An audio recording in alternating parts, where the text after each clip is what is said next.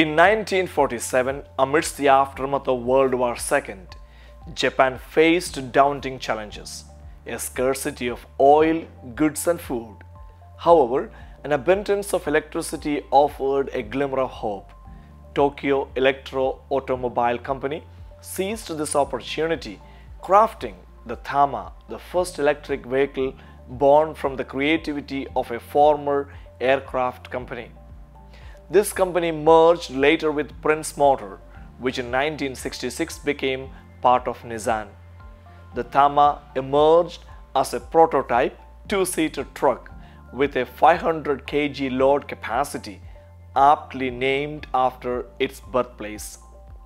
Its innovative design, including battery compartments in the cabin floor, propelled it to success, boasting a top speed of 34 kilometers per hour.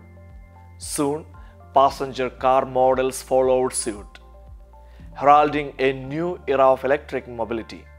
In 1948, Tama Junior, a compact passenger car, and in 1949, the Tama Senior, a medium-sized passenger car was born.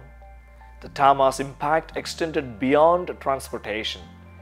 It symbolized Japan's resilience and innovation during a time of reconstruction.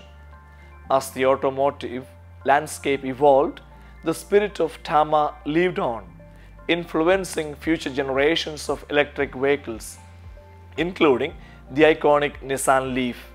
Today, the restored Tama stands as a testament to Japan's enduring commitment to progress. Its legacy reminds us that even in the face of adversity, innovation can pave the way for a brighter future. As we journey towards, let Tama's story inspire us to embrace creativity, shaping a world where sustainable solutions drive us towards greater prosperity and harmony.